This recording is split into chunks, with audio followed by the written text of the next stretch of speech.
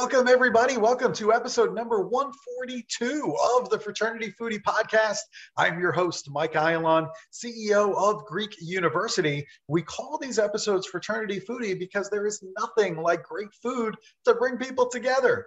Now, go and check out our new book. We released it three weeks ago. It's called From Letters to Leaders Creating Impact on Your College Campus and Beyond. It's available on your Kindle for only $2.99 right now, or you can have the paperback shipped to you for only $9.99 on Amazon. A great deal either way. Go check it out. Now, today we have with us a treat, especially during Sexual Assault Awareness Month. We have with us Mike Domitrz. He is an author, leading authority, an educator, an expert, and a certified speaking professional. He's also the founder of the Center for Respect Incorporated, which is formerly the Date Safe Project, if you're familiar with that. Mike has devoted his life to the mission of the Date Safe Project to provide parents, educators, middle schools, high schools, colleges, universities, military, and corporations the skills to create a culture of respect for reducing sexual harassment, reducing sexual assaults. And these skills that he teaches address workplace attitudes, honoring boundaries, respect, bystander intervention, teen dating, sex education, abstinence, reducing sexual assaults and rapes on college campuses, and supporting the survivors of sexual assaults. Over the last two dec- decades, Mike has spoken on four continents, hundreds of institutions. His clients go from the local school district to parenting organizations all throughout the country. He's also worked on very prestigious college campuses. He's also worked with the US military, both stateside and also overseas, as well as corporations. He's got some books out there. One of them is called Can I Kiss You? Uh, a thought provoking look at relationships, intimacy, and sexual assault.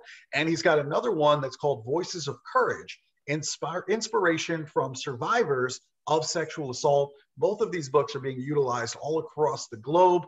Welcome to the show, Mike. Thank you, Mike, for that wonderful introduction. I love your passion and energy. So thanks for opening this conversation up. Hey, it's my pleasure. And I'm available if you need me to introduce you on college campuses. I mean, you just throw me in your suitcase and just open me up on stage. I'll do a great introduction, get the crowd all warmed up, and then we have your presentation. I love it. All right, it sounds like a deal. Now, I want our audience to know a little bit about you. I think it's important to know where you came from. And you decided on the University of Wisconsin in Whitewater for your undergraduate experience. So I'm wondering why was the University of Wisconsin Whitewater the right choice for you? Well, eh, I have to back up a little bit there because I actually started at Loyola University of Chicago. I ended up at Whitewater, and there is a reason for that. So I will absolutely be happy to share that story, Mike. So I was determined to become an actor. I was going to be an actor on Broadway. That's what I want to do with my life. So I looked at NYU, I looked at a few other schools, and I landed at Loyola University of Chicago's theater department. And it was going great. I was having, I was loving it there, and I was having success for a college student. I was in the shows it was going great. And I received a phone call. One of the first days of my sophomore year back on campus, we were actually back early rehearsing for a show uh, on main stage and came back to my room. There's another door, door, door about call home. And when I called home, it was my mom informing me that I have three older sisters, and the youngest of those three older sisters had been raped. Oh, no. And I couldn't believe what I was hearing. I was lost. I was confused. I was angry. And over time, I would struggle as a student at Loyola. I went from doing really, really well to struggling academically. And I realized I need to be home. I need to be home back near my family during all of this. And I also started thinking theater is a very in, unsecure career field. And this rocked my, my sense of family. And I thought, I want something more secure. So I transferred to the University of Wisconsin Whitewater to go into business. Uh, and what I would later end up doing is actually going into entrepreneurship, starting my speaking. And I started my speaking company at UW Whitewater. Whitewater has, still does, had then and has now an amazing business school. So that's what drove me to Whitewater. And at the time, it's where I was from. So it allowed me to be home with everything going on with the case uh, involving my sister and allowed me to be at a great school studying in a program that they were known for. Wow. So that really works out well. And now I certainly understand why you're so passionate about this particular topic of sexual assault prevention and awareness. It's really, it all goes back to the story with your sister, right? It absolutely does. Yeah. When I saw her strength and her courage as a survivor, mm-hmm. I was one inspired and two realized when I heard that speaker, I want to do something about this. So that's what changed everything. When I was at Whitewater, I heard a speaker and I realized, wait, I can use my words to do something about this. So Sherry's inspiration, right? Her strength, her courage, led by then hearing a speaker and realizing I could do something about this. I mm-hmm. started speaking out right then. I started speaking in schools when I was 20, 21. Wow, that is uh, absolutely an incredible story. I wish that I would have started speaking uh, that early in my life. It wasn't until later in life when I was actually cutting checks as the executive director of the organization to other speakers to come and speak to our college students. And I'm like, wait a minute. I'm like, you mean that we can get paid and make a full time living working with college students and empowering them to make their campuses safer? Where do I sign up for that? yeah, well, and when I started doing this, everybody said the opposite to me. They yeah. said, you know, that topic, what you're doing, you better keep a side job. You better just do this on the side. Well, I don't do anything on the side. Like if I'm going to do it, I'm all in. And I knew this is where I wanted to be. So when I came back to this full time in 2002, I did it here or there for a long time. But when I came back to it full time in 2002, it really took off. The, the college market had changed when I was originally doing this 91, like I said, 91 to 94, schools weren't talking about this. And they, they weren't even having doctorates talk about it. I was 24 and I looked like I was 17. That didn't help. It really didn't help. So I was running at all these walls. And in 2002, people were like, no, we're looking for these conversations. And it just, when we put it out there, we started showing up at conferences and people like, we want that approach. We want that energy. We want our students that engaged and it, we were very fortunate. Those conferences allowed us to just flourish, and the word got out. And we went to full time in, a, in within a year. We were packed on campuses, and now it's hard to believe that's been 19 years of of doing this and absolutely loving it. Good for you, and and thank you for kind of uh, showing us the way and and building that path. I mean, I started talking about sexual assault prevention in 2012. Certainly, it was before the Me Too movement, and you know, even then, people were like you know, you're talking about this, you know, why are we talking about this? And I'm like, what do you mean? I mean, I'm like, look at the statistics. I'm, you know, as somebody who is a fraternity man that took a commitment to those values about, you know, protecting our members and our guests and and all of those things and and respecting other people. I'm like, how can I not get involved in this? And and so, uh, but thank you. I mean, obviously, it's oh, important to have other men like you talking about this. Well, I appreciate that, Mike. You know, one of the battles with this is, and you've probably seen this too, people try to keep things internal. Mm-hmm. And so they try to deal with everything from within. Campuses would do it at times, Greek life would do it at times. We're only going to bring speakers who are Greek life speakers. Well, then what if somebody out there is amazing and you're not bringing them because they're not they don't have a past Greek life? The question is can they relate to the Greek life student? Are they telling their story only or are they bringing the student stories into the experience? If that's what you do, any audience you walk into, you can relate to because it isn't about you, it's right. about the audience. But sometimes people close out, they keep these boundaries of we're only going to work with this kind of, and they lose out on seeing ideas and ways that they, they've never seen because that's outside the walls, outside the boundaries. Mm. Yeah, I also I want to. I was thinking about kind of the, high school. You know, what happens before they get to the college campus? Mm-hmm. I have a couple of kids in high school. I have a daughter; she's a freshman in high school. I have a son who's a sophomore in high school. And I'm wondering, are today's high school students getting the skills that are needed to engage the students and teens of all genders? Is it realistic? Is it honest eh, when we talk about sex education? Are we talking about abstinence? Are we talking about oral sex? Are we talking about pregnancy? I mean, are these topics being covered in the high schools? Nope. And when I say nope, it doesn't mean not anywhere. It means that it's rarely being done well. Mm-hmm. So it's glossed over uh, for the most part, or it's just not discussed at all. If it is discussed, it's a not to program. It's not a what do I do when I'm in these situations? How do I make good choices for myself and my partner? It's not a proactive discussion. It's a don't get in trouble, don't rape, don't get pregnant, don't get STDs, don't get STIs. It's a don't world, which nobody wants to be told. I don't care whether you're 16 or 55, you don't want to constantly be told what not to do, right? You want what can I do? And what's amazing is the schools that we do work with middle schools and high schools in addition to universities. Mm-hmm. And what's amazing is when you go into the schools, the students are like, oh my gosh, thank you. Thank you for finally letting us have this conversation in an honest fashion, right? That's realistic to what we experience. And what's really incredible, Mike, is the administrators and the teachers who are like, wow, that wasn't what I thought. They have in their mind that if you talk about this, kids are going to have this new excitement to experiment sexually like they never have before. Like you're going to create ideas they haven't already had. When in reality, when you do this right, they recognize, wow, the experiences I'm having don't meet the standards of excellence we're discussing in this program. And I deserve to be at a standards of excellence when it comes to my intimacy, to my relationships, to my body. And now I can recognize I'm not getting that, or my partner's not getting that. So I want to slow down. The irony is, the more we give education, the more students actually want to slow down to raise their standards, to raise the bar of expectations, which is a super healthy discovery. Yeah, I'm saying the same thing. You know, as I'm working with college students, um, but right before the pandemic hit, I was talking about sexual assault prevention on a college campus in Michigan. And literally, I mean, the women and the men stood up, they started clapping in the middle of the presentation because I was literally explaining to the college students what yes sounds like on a college campus and what no sounds like on a college campus. And it was met with like applause because this was an open and honest dialogue about what we should have been talking about from day one so that way everybody understands what that sounds like. Because sometimes it's not always a yes y-e-s and sometimes it's not always a no. And no it sounds different. And so we have to work on that and and and basically have those discussions. So that way when you hear certain things like i'm not comfortable with that um, that we know that that's another way of saying no right? Yeah and to teach that it's that the only response to that is okay thanks for sharing. Thanks for letting me know. It's not why not?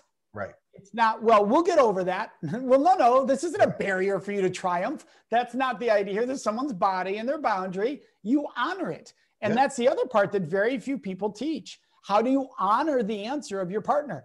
Right. most people try to change the answer of the partner if it's not on their own plan. In other words if i think we're doing this and suddenly you say no well i got to figure out a way to get you to say yes yeah. And everything you see in TV and the movies, music is about overcoming.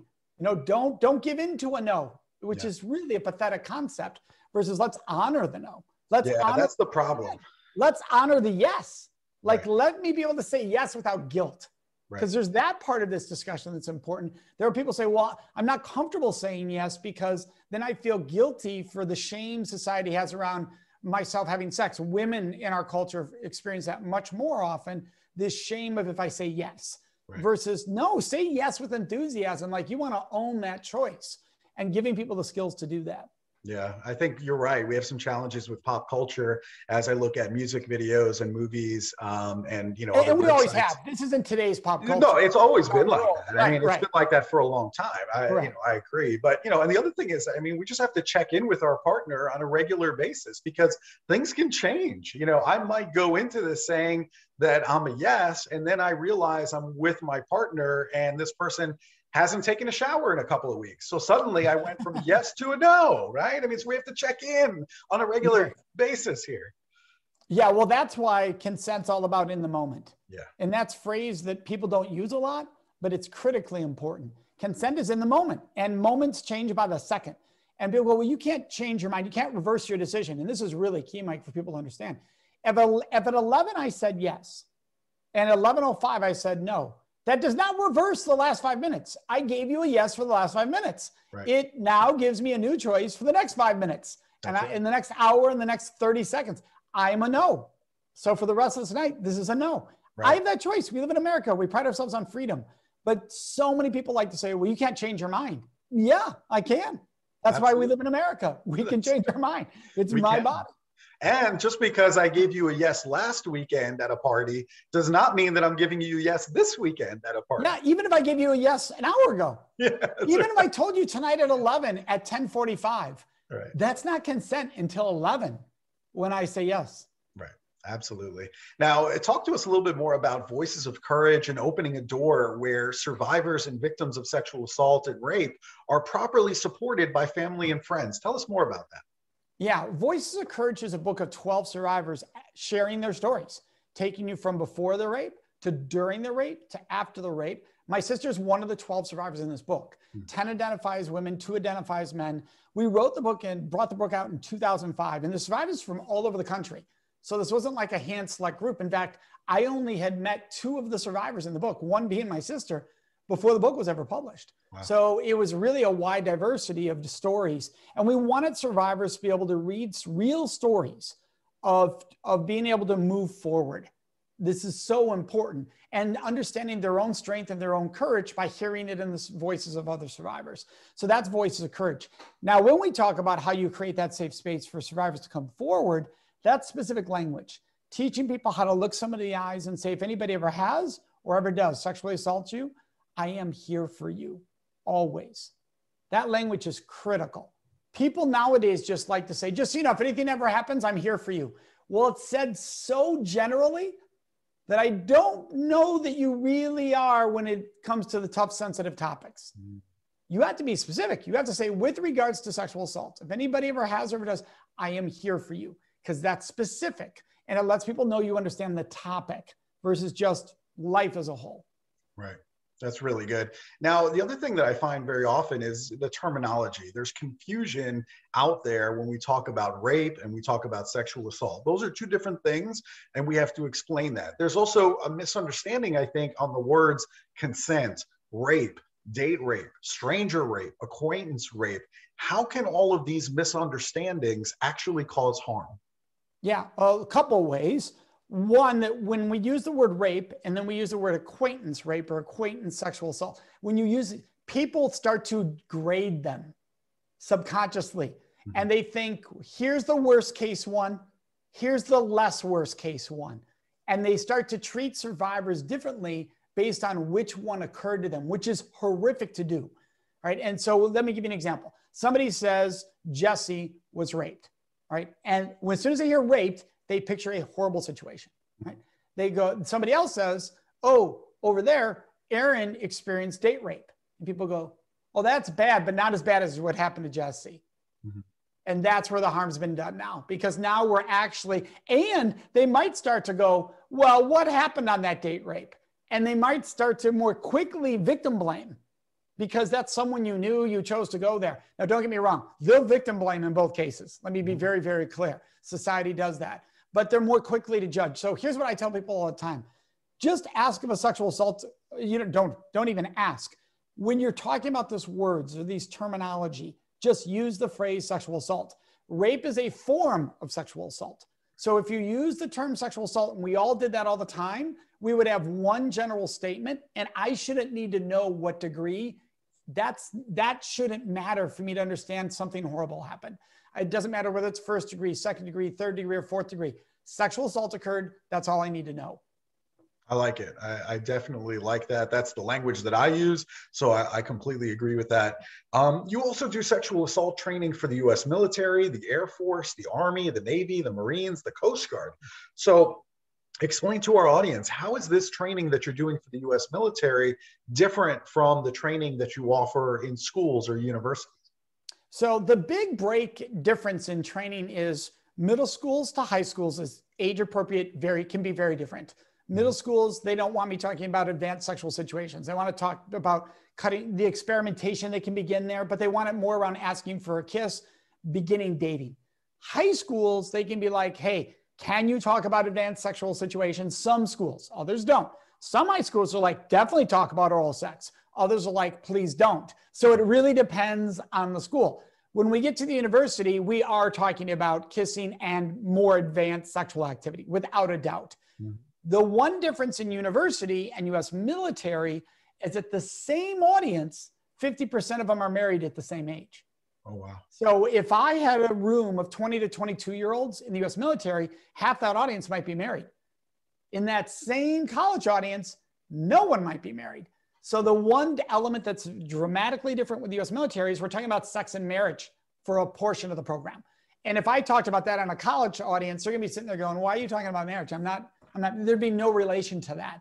So it, this is a key element of always knowing your audience. Yeah, that's really, really interesting. I never really thought about that. Uh, you know, and, and, you bring up a great point. I mean, it's different audiences, different needs, and different situations uh, that they find themselves in. So that's really interesting. Um, and and they live by different standards. And here's what I mean by that: the U.S. military has core values. All the services do, and they live by those core values. If you go to most university campuses and say, "What's your campus core values?" Most students are going to look at you going, "What are you talking about?" Mm-hmm so your, your ability to integrate that is different with US military where you blatantly can because everybody knows the core value of the service they work in. They sure. know it, all right, versus a campus. So that's why we focus on who are you? Because whether you're coming from a campus environment, a high school environment, a military, corporate environment, who are you, the individual? Who do you mm-hmm. choose to be in these moments? Society might be, you might tell me, but culture's this and society's that. Who are you? Yeah. This is I a like, really critical discussion point.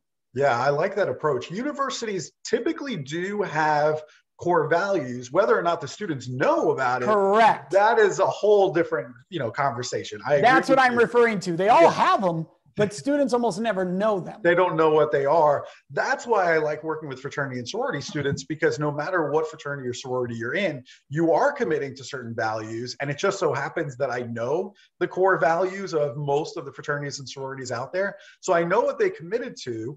And so I use that as leverage to say, this is why, as a fraternity member, this is why, as a sorority member, you took an oath when you joined that organization, the same, you know, oath that I took uh, when I joined my fraternity, the same oath that I took when I got married to my wife.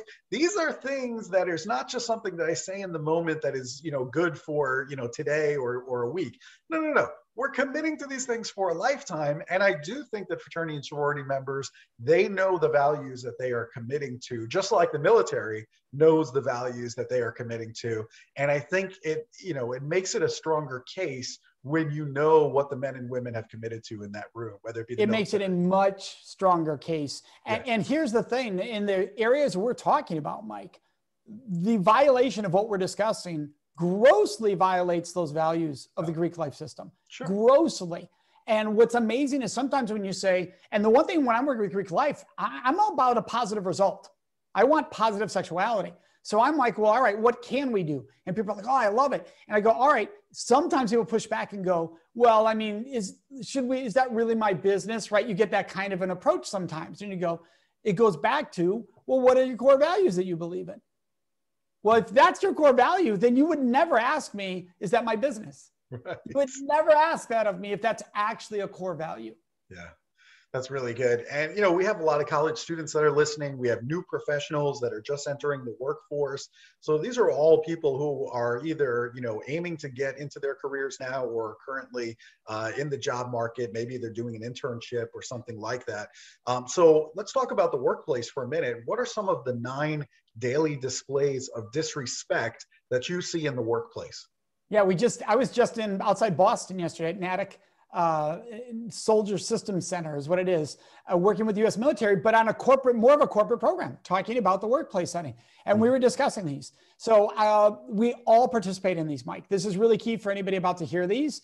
This is not the monster predator profile I'm about to give that people want to think about when they think about these problems. I'm going to name things that we all do. Ready? One, we all interrupt other people probably at some point or another. We might not do it often. Some of us might do it often but we have to acknowledge it. It's highly disrespectful. Think about what that says to the other person when I interrupt you. Now, I might know the next 10 seconds you're going to say. I might. I might be right about that.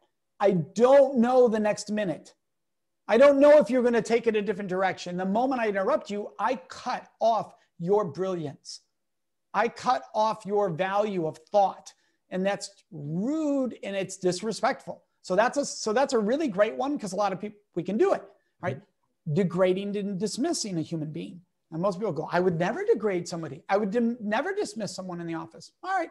Have you ever said to somebody, Oh, we've done that before? Well, what'd you just say about their idea? It's useless. We've done that before. Your, your idea is useless. That's what we're saying to them. Versus, Oh, you know, I'm so glad you brought that up because we have struggled with that in the past. And here's what we have not been able to overcome. Could you maybe try to think about ways you could help us overcome that? Now they hear their idea as a potential solution. And by the way, what if they did overcome the thing nobody else has overcome? right? So degrade and dismiss. Now, another degrade and dismiss move is to roll the eyes. So disrespectful behaviors don't have to be verbal, right? They can also be symbol, symbolic through body language. So mm-hmm. rolling the eyes is very.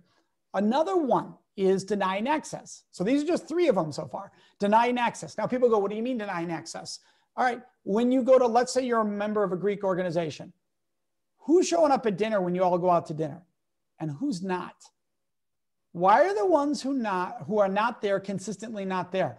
Have you proactively invited them in? Or have you accidentally left them out? And people don't recognize often when they've left people out.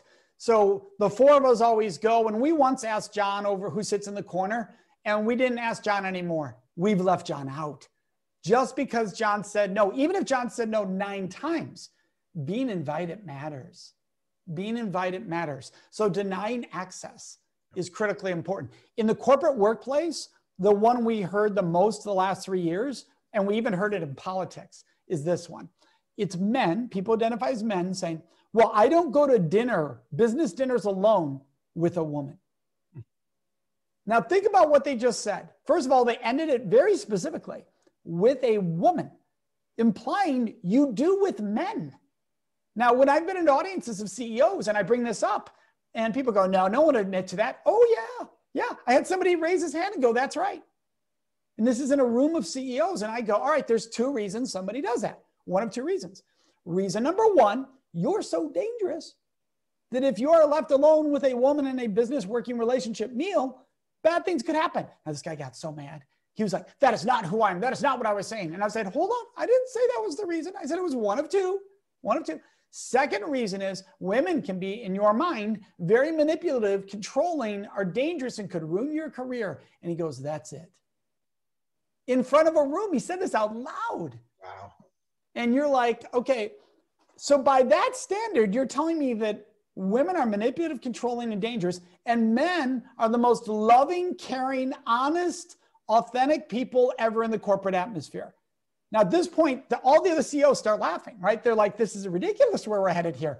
And they got it, right? And he's like, yeah, but, and then he did this one. Yeah, but my wife prefers it this way too. Okay, now you're revealing that you're not trusted or something your relationship's not trusted. That is not the women's fault at your corporation or your organization. So, what would have actually been the smart thing for this person to do? And this is how you solve denying access you are consistently inclusive. And what that means is I am consistent. And that means if I don't go to dinner with women, I don't go to dinner with men either. Well, that's actually consistent then. I don't go to personal one on one dinners. That at least is consistent. It still says a lot about lack of trust, but it's at least consistent. But the mm-hmm. moment you aim it at a race, at a gender, at a culture, at an identity, it's blatant discriminatory behavior that can lead to also harassment and other elements. So yeah, these are just what we just named just three of them, right? But there's there's nine that we can relate to in that category of the nine daily displays that we all can participate in. Denying access, we've all done it, whether we recognize it or not. Oh, I forgot to invite them over there. You know this is that's great information. I can really see how useful that would be in a corporate setting to go over those nine displays of disrespect in the workplace. I can really see a lot of value there. Um, you know is there anything that you uh, advise that we do in order to avoid making these types of mistakes yeah well with each of them we have a step so we okay. have a, we have what's called the pause so when you're making this choice pause right? That, that's true of good in life choice, right? When you're involving other people, pause. Pause and say, what could I do? So let me give you an example. In the deny, uh, when you're denying people access, you pause and say, am I, am I including them right now or excluding, right? That immediately tells you whether you're right or wrong in the situation, right? Am I including? Let's go back to the interruption. Am I listening to learn or am I listening to respond? Am I listening for curiosity or am I listening to respond? That is really powerful. Uh, and don't get me wrong, people are high energy like me that minds move a million miles an hour. We think we're saving time. It's ridiculous. Uh, I, have a, I have a quote that in all my speeches we put up on the screen. And it's something that I said out loud, and somebody's like, you got to put that on the screen every time. And it's efficiency is lost when pain is caused. Because people like to think I'm being efficient on some of these techniques. No, you're not. You're hurting the company, you're hurting the culture, you're hurting the organization. And by the way, you know, Mike, this is true of Greek life organizations. We can do this within our leadership, right? Uh, when we're sitting down and making decisions and meeting, and they can exist there. So for each one, there's a counter behavior that leads us to a place of respect versus disrespect. I love that you're including that counter behavior. I think that's really where the learning happens. Yes. Um, so that's fantastic. I really love this. This has been uh, great. I can see how this applies in the corporate world. I can see how this applies within Greek life. I can see all of it. Uh, and so this has been really helpful for me, certainly. And I know for our listeners as well that are trying to understand your techniques and your approaches, I can see it all now. This has really been great. Um, so, eh, listen, we love good food here at Fraternity Foodie. And so I can't hide that. Uh, what is your favorite restaurant in Milwaukee, Wisconsin? Okay, so it's called the Taj Mahal. All right. What is it? So I became I became a vegan. Uh, now going out a year and a half ago, full time vegan. And so my restaurant, favorite restaurants changed. It would have been a very different answer prior to being vegan. But this is a place where I know I can always get a dish that I really love, uh, Mediterranean based and Mediterranean and Indian based, and just love it. It's called Taj Mahal and it's in Hales Corners, Wisconsin. I'm going to have to check it out. And I'm going to have to bring my daughter with me too. She's a vegan as well, which is so unusual because my wife and I, we love eating meat. I mean, we go to these, you know, Brazilian barbecue places with meat galore. And, you know, she's sitting there like, I'm not eating any of this. And so um, I need options. And you're right. I think, you know, a lot of the Indian restaurants that we have here uh, in the Nashville area, they're fantastic. And there's so many choices for vegans. I mean, I, that is the key. She wants choices and variety. And it doesn't have to be dull just because you're a vegan, right? that's right. Well, and that's just it. People are like, oh, you're vegan. Where can we eat? I'm like, I'll find something no matter where we go. I will find something. I'll find a way to adapt. But right. it is great when we can find a restaurant where everybody's everybody's can be really enjoy the meal itself and the conversation. I love it. Taj Mahal in Milwaukee, Wisconsin. You just got a plug of a lifetime. So enjoy that. I love it. They're going to make commercials and everything. It's going to be fantastic. so if our audience wants to book you to speak on their campus, to Greek life, or maybe companies want to bring you in and speak in the workplace, where is the best place for them to go and to connect with you? Centerforrespect.com. Just spell it out. C E N T E R 4 F O R respect.com. Uh, they go there, they're going to find me, they're going to find our phone number, they're going to find a contact us. Everything is there. When you go there, you can pick middle schools, high schools, corporate, or military and reach out, see the programs, and contact us. We love working with all different organizations around this world. You know, the Greek life and universities is where I really, really took off. Uh, and what happened was the military came to us and said, "Can you do what you're doing for them for us?" Uh, 16 years ago now, and then corporations said, "Hey, we've we've heard about this. Can you do this?" And we're like, "It translates." And that's the thing when you focus on the audience, and you know this, Mike, when you come in and focus on the audience's world and you're giving the audience skills, it will always translate and people will love it because it's about them. It's right. about them. It's not about, look at what I did. You can do it too. People are like, oh, nowadays people hate that.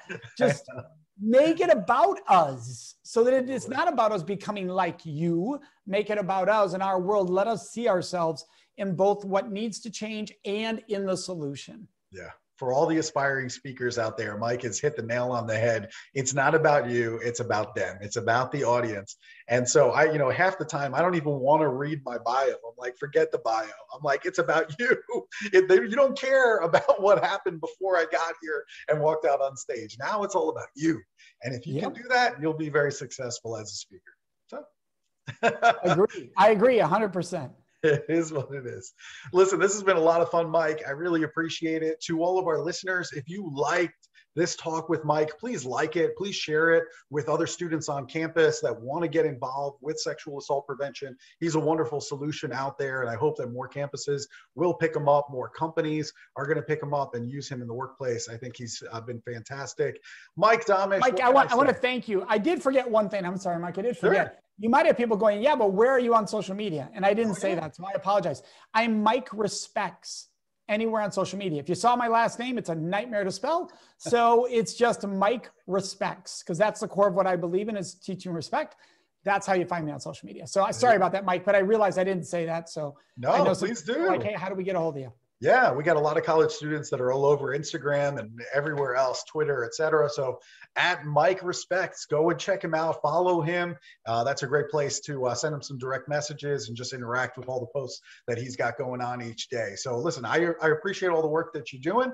I appreciate the time, and I hope to see you on the stage out in person real soon. That'd be awesome to run into each at the same event. You know how rare that is as speakers, so it'd be very cool for that to happen, Mike. It would be very cool. Let's find a way to make that happen. So thank you that. so much to our audience. We will see you on another episode of Fraternity Foodie. Bye for now.